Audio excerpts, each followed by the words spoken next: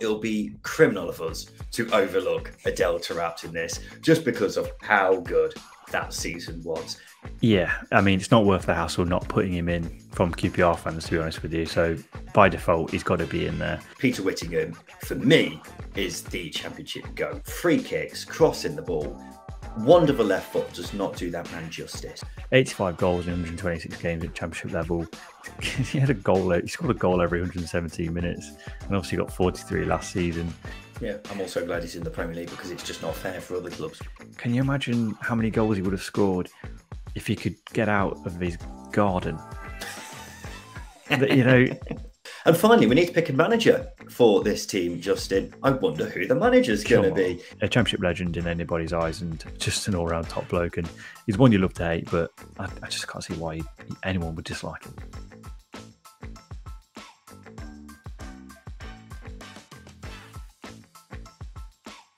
Hello and welcome back to another episode of The Stopwatch. It's the topical championship show with a little twist. It's usually five topics, a two minute timer, and two hosts. We're running just from the second tier podcast, but we're doing things a little bit differently this week. Of course, it's the international break, so we haven't got as much championship football for us to talk about. So, what me and Justin are going to do is the ultimate second tier retro. We've been asked to make our all time championship 11. I'm bloody excited to do this, Justin, because everyone will have their own opinions on who the best championship player is in each position. But who else, who better, Justin, than us to tell everyone who the actual goats are in the championship? So we start with the goalkeeper position, shall we, Justin? In goal, we've gone for Paddy Kenny, ex Sheffield United, Leeds, QPR, many clubs, in fact, in the championship. And he comes up quite a lot in the stopwatch, doesn't he? But there's a reason for that because he was a bloody good goalkeeper. Yeah, he's uh, an outstanding character as well, and uh, a Neil Warnock uh, favorite and disciple. And I think that goes that actually goes a long way. Um, uh, yeah, Neil Warnock's managed a lot of good teams, and for him to take Paddy Kenny with with him everywhere, almost pretty much, I think says a lot about Paddy Kenny. Very reliable performer, very good goalkeeper, and perhaps one of those that are massively underrated. And I think just the amount of clean sheets he's kept at his teams um, does justify it. He's got 118 his entire career. He kept 110 at Sheffield United. Mm. Just staggering, just absolutely staggering. And um, yeah, there's not much else we can really say about Paddy Kenny that we haven't said before. Great, great character, great goalkeeper, and uh, yeah, a Neil Warnock, um, a Neil Warnock legend. One of those. Yeah, and those clean sheets figures are pretty phenomenal aren't they? But yeah, he's. I, I, do agree with you. I think he is quite an underrated keeper because when you think of Paddy Kenny, you think of the numerous jibes he's had about mm. his size and off the pitch issues. But in terms of actual goalkeeping, he was very reliable. Once he, I can't remember too many times he made mistakes, and he's got multiple promotions to his name as well. So without a doubt, Paddy Kenny is worthy of the number one spot in our team all-time team of championship history. Uh, Justin, who we got right back? We've got Kieran Trippier. Now, this one was a bit a bit of a, a, debate between us. I wanted Graham Alexander, but I happily concede to Kieran Trippier on this occasion because I will say, Justin, I think right back's got quite a few contenders. You've got yeah, Alexander, yeah. Angel, Rangel, um, Bruno from yeah. Brighton. There were quite a few, but for me, I, I tell you why I was so hot on Trippier. I think it's because when you talk about players who cut their teeth at football league level and then went on to become elite players, mm. Trippier is a prime example of that because he spent multiple seasons in the championship, not like your Harry Kanes, for example, who had, I think, one or two seasons on mm. loan and didn't really play regularly for those clubs. Kieran Trippier was playing week in, week out. He got um, player of the season for Burnley in his first season there. And then in the following two seasons, he was named in the Championship or PFA Team of the Seasons. I can't remember yeah. which one it was. So for that, I think you've got to take your hat off to Kieran Trippier for taking the step down to the Championship and making a bloody good career out of uh, what lessons he learned from his time in the second tier. Without a shadow of a doubt, I, I know I, I, wanted Graham Alexander in. I love Graham Alexander, but Kieran Trippier was was an outstanding player at this level and a really key component to that Sean Dyche side. Big 4 4, you know, 4 4 2 formation under Dyche in that Burnley side. His delivery was ridiculous. The amount of assists he got for a fullback in a team that was not known for its attacking wing back, shall we say, is, is, is actually quite um, quite a quite a mean feat. And interestingly enough, he's actually played more games at championship level than he has in the Premier League, which goes to show that he's gone to become an elite player, as you say, while cutting his teeth in the championship. That is a fantastic stat, Justin. That's actually surprised me quite a lot. I did not expect that at all. Um, who have we got at centre back, Justin? It's your boy, isn't it? Yeah, first one is Curtis Davies. Couldn't have a team of the team of the year, the ultimate team. Couldn't have a championship ultimate team without Curtis Davies in there. Um, now I know people will say I'm a Derby fan. I'm bound to have him in, but actually his best football came before Derby. Um, his spell at West Brom probably less known for that, but he was an incredible player at West Brom. Um, and then moving on to Birmingham for two seasons uh, later on uh, in the early 2010s. Again, really, really consistent. And then his spell at Hull, that partnership with Michael Dawson, had no right being in the championship. Two experienced players, two two players who knew what they were doing. He's been a captain at every uh, every club he's had. Over 300 appearances in the championship. Two two PFA Team of the Year entries just ticking boxes here as to re- as to why he should be in this team. I mean, it's hard to disagree with you, Justin. you talk about the number of clubs he's been at, and I think if you asked every single fan of his past clubs, every single person would vouch for him being an absolute top player, top class bloke, and um, in in many cases a bit of a cult icon, really, wasn't he? Yeah. Because he is a massive leader on the pitch. As you say, he was captain at numerous different clubs. He's won promotion from numerous different clubs as well.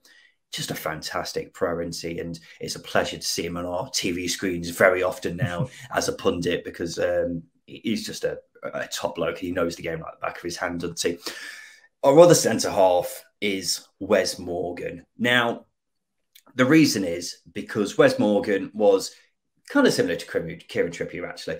He spent most of his career cutting his teeth in the championship, didn't he? And you thought he might get a chance at Premier League level one day, but then when he actually did, he obviously took it with both hands, didn't he? And we all know what he went on to do. Won the Premier League as captain of Leicester City. And keep in mind that, as I say, he was mainly a championship player up until those first two seasons with Leicester in the Premier League. But he was phenomenal for a number of years, for not just Leicester, but also for Nottingham Forest, wasn't he? Yeah, absolutely. And I think everybody immediately associates Wes Morgan with his Leicester City spell, when actually he was part of that Nottingham Forest team under Billy Davies that was ridiculously good uh, and arguably should have won promotion um, if it wasn't for some poor form towards the end of the season. Uh, a very accomplished ball playing defender as well, very comfortable in the championship with the ball at his feet, surprisingly quick for his size as well. I, I think that would have surprised quite a lot of people. Um, and again, at captain at Nottingham Forest and at Leicester, it just goes to show what a leader he was.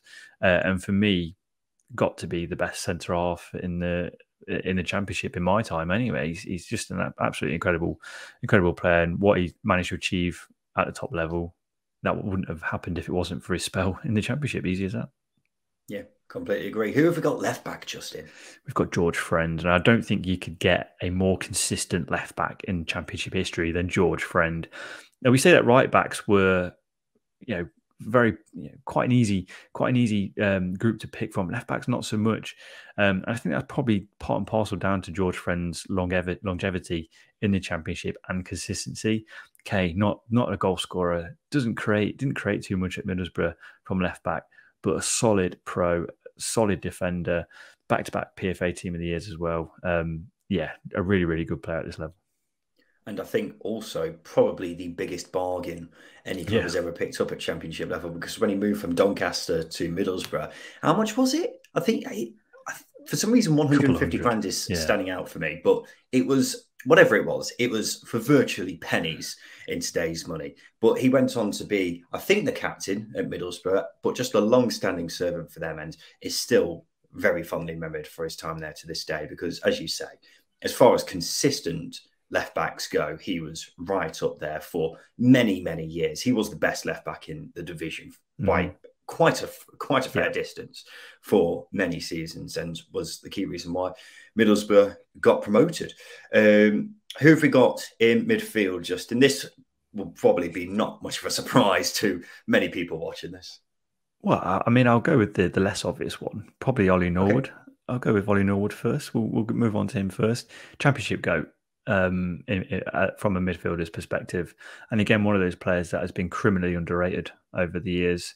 Um, three successive promotions with Brighton, Fulham, and Sheffield United, and what we're seeing now this season from Ollie Norwood is just a, a ridiculously um, high level of performance from him.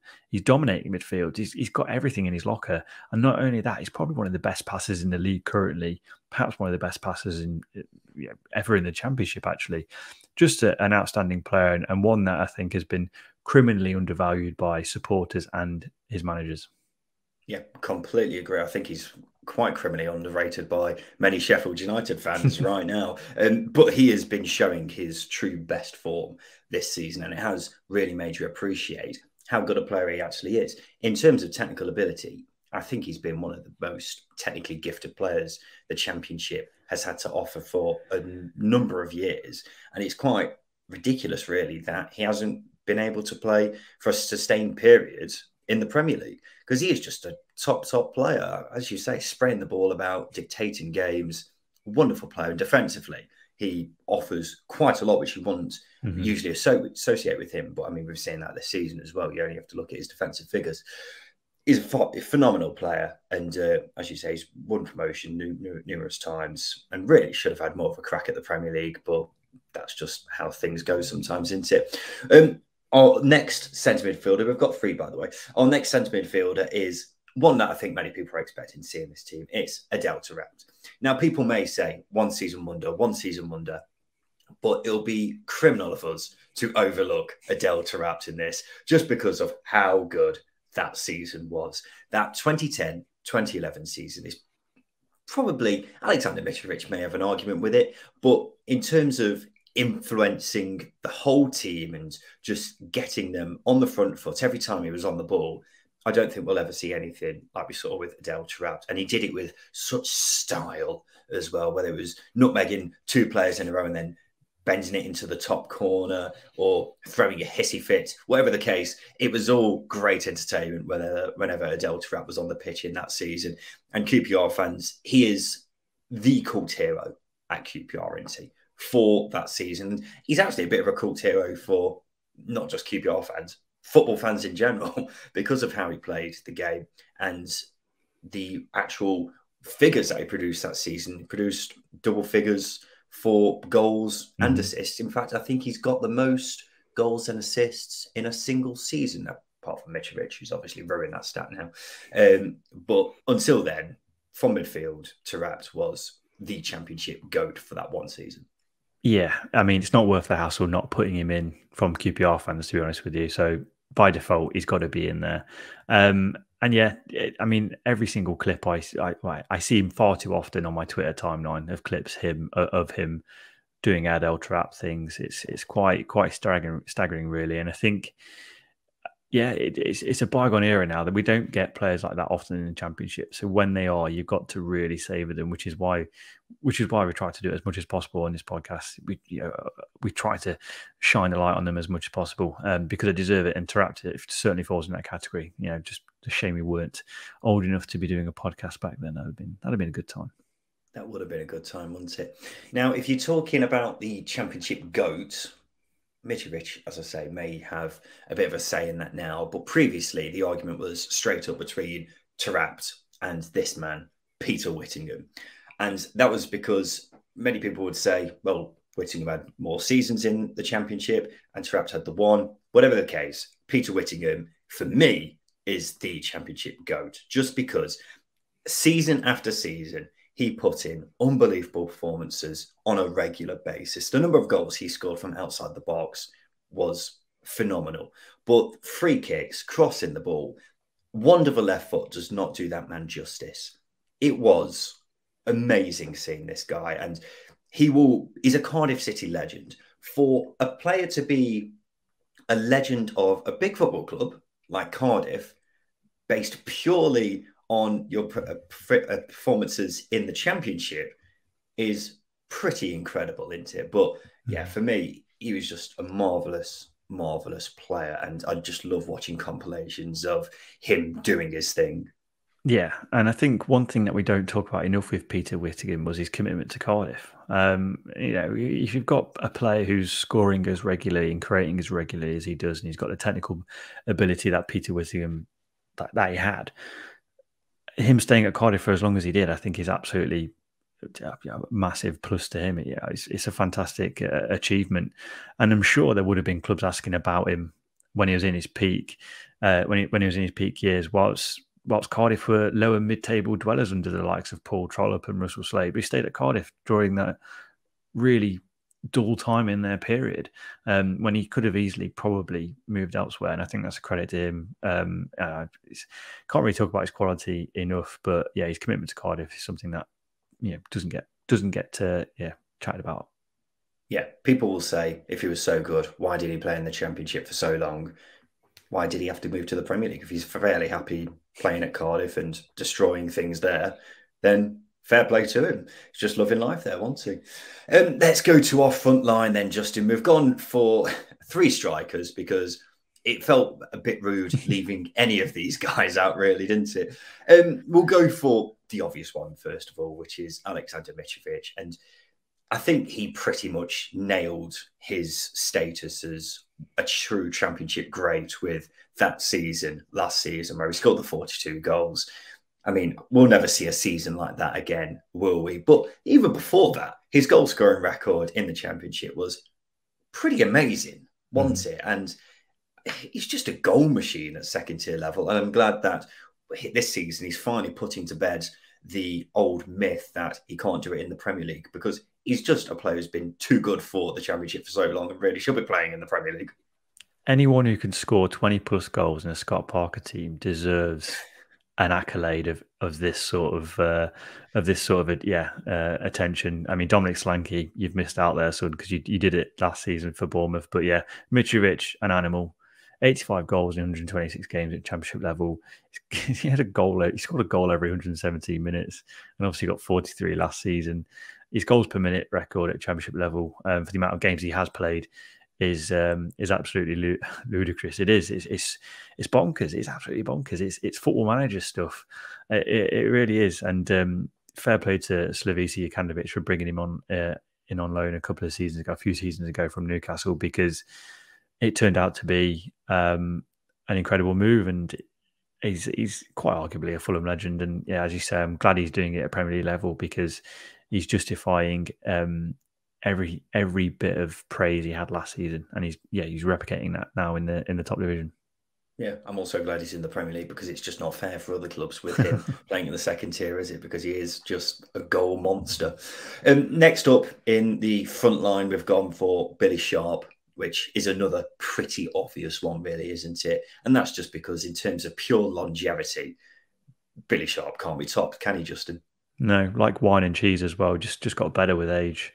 Mm-hmm. The older it got, got better. It's um, absolutely crazy how you know he hit his sort of early thirties and he stepped it up another level for Sheffield United. It's um, it's absolutely incredible. And his his goal record at the clubs that he's been at, he's had quite a few clubs. He scored a lot of goals at Doncaster when Doncaster weren't necessarily a a team uh, who were you know chasing for promotion, for example.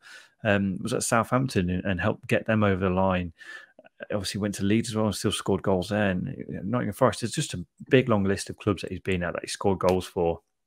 And I don't think you get players like that very often. You know, you see Kevin Phillips types, and obviously he's unfortunate to miss out. But Billy Sharp being the top goal scorer in modern Championship history, um, I think you've got to put him in. He's a again another another goat level player. Yeah, just not much else we can say about Billy Sharp that we haven't already.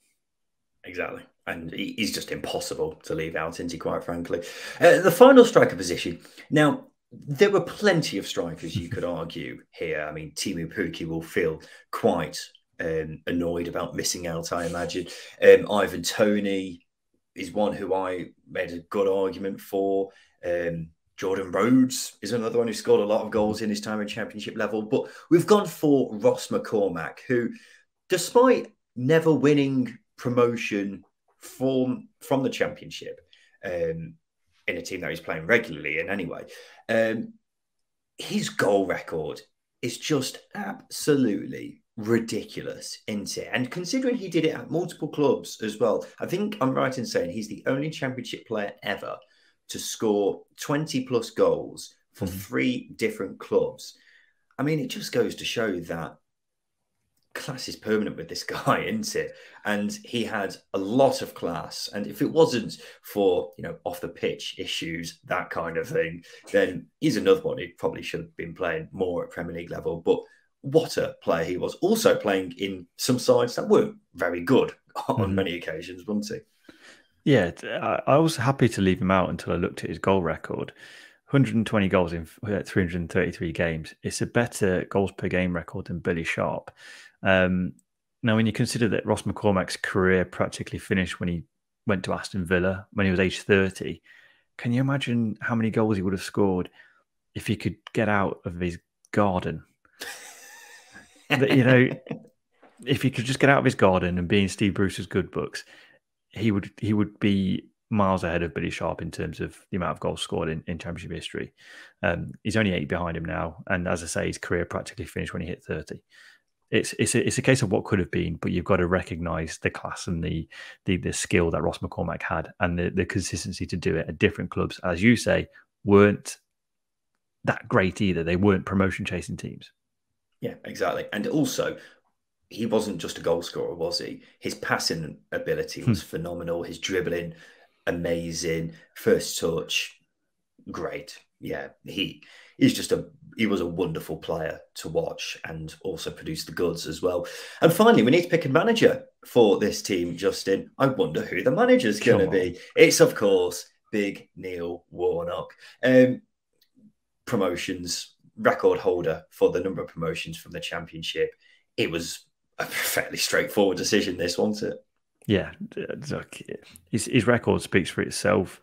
Sheffield United, QPR, keeping Rotherham up a couple of years, well, oh, quite a few years ago now, going up with Cardiff when they weren't when they, when they weren't fancied. Yeah, keeping Crystal Palace up, the only manager to do that while a team's been in in administration to keep them up. It, yeah, just so many individual records as a manager, um, and I think it's it's quite incredible for him to have been able to do it you can only argue that he's only had ever have had really one bad spell, and that was at, at Leeds. You can argue his Borough spell was a success because he kept them in the Championship, and he steered them onto steadier steadier waters, um, albeit a little bit of inconsistency last season. But yeah, he's, he's a, a, Championship legend in anybody's eyes, and just an all round top bloke. And he's one you love to hate, but I, I just can't see why he, anyone would dislike him yeah, I, it's a mystery to me why anyone would dislike him. Um, and it would also be absolutely top class entertainment to see him trying to control a dressing room that has the likes of Adel Taarabt, Alexander Mitrovic, and Ross McCormack in it.